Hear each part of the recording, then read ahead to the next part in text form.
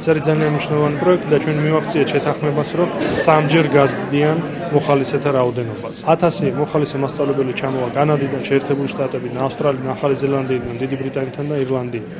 ჩვენ გვჭირდება ეს ხალხი იმისათვის, რომ ისინი იმუშაონ ჩვენ მასწავლებლებთან ერთად. მასწავლებლების კვალიფიკაცია იყოს ამაღლებული და ამავდროულად ჩვენ ბავშვებს ექნება შესაძლებლობა რომ უკეთესად ისწავლონ ინგლისური ენა. ამ პროგრამის განხორციელებას ძალიან დიდი მნიშვნელობა აქვს, რადგან ის საქართველოს ამჟამინდელ პრიორიტეტებთანაა თანხმედრაში. მინისტრმა დასავლურ ფასეულობებზე ისაუბრა.